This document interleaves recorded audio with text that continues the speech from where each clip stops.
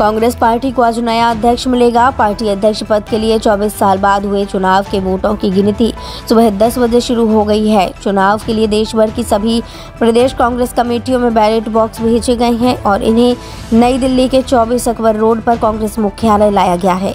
यही सारे वोट गिने जा रहे हैं। शाम चार बजे तक नतीजे आने के आसार हैं। कांग्रेस अध्यक्ष पद के लिए मल्लिकार्जुन खड़गे और शशि थरूर आमने सामने हैं। चुनाव में कुल निन्यानवे सौ वोटर्स में से पंचानवे सौ ने वोट डाले थे।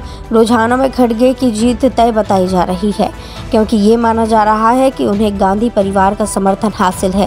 क्योंकि नेता प्रमोद तिवारी ने कहा कि खड़गे 90 प्रतिशत से ज़्यादा वोट से जीत रहे हैं। इस चुनाव में जो भी जीतेगा, वो कांग्रेस अध्यक्ष बनने वाला पैंसठवां नेता होगा। इनमें से कई नेता एक से ज़्यादा बार भी अध्यक्ष रह चुके हैं। अगर खड़गे जीतते हैं तो वो कांग्रेस अध्यक्ष बनने वाले दूसरे दलित नेता होंगे।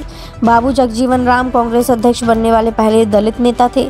आज़ादी के बाद पिछहत्तर साल में बयालीस साल तक की पार्टी की कमान गांधी के परिवार के पास रही। वहीं तैंतीस साल पार्टी अध्यक्ष श्री बागडोर गांधी परिवार से अलग नेताओं के पास रही।